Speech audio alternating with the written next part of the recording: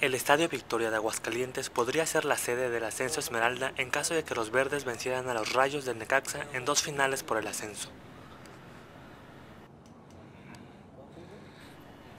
Con una historia reciente, el recinto necaxista fue fundado apenas en el 2003 y los encargados de estrenarlo fueron las Chivas, que en aquel momento se llevaron la victoria 1-0 sobre el Necaxa.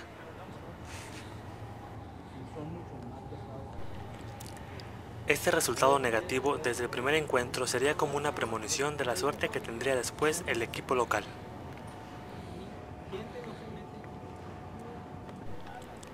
Y es que aunque el Necaxa es un equipo con mucha tradición en el fútbol mexicano, en los últimos años pasó por una crisis.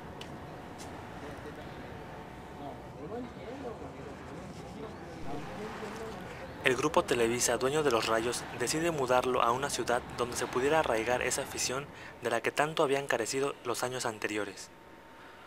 Por ello se hizo una gran inversión para edificar un estadio en Aguascalientes, moderno y capaz de albergar a un equipo de primera división.